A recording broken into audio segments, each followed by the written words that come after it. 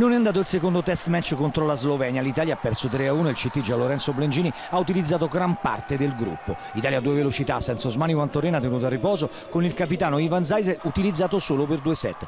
Dopo i due persi malamente in campo l'altra Italia, quella che gioca meno, comunque parte importante del gruppo azzurro, che ha divertito, sfiorato il tie break.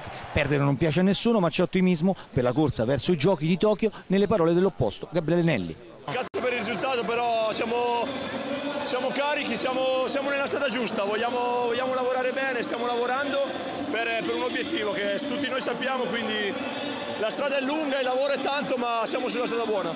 Tenuto in campo solo 2-7 anche Simone Giannelli, dal regista azzurro però solo sorrisi e parole positive per tutti i suoi compagni.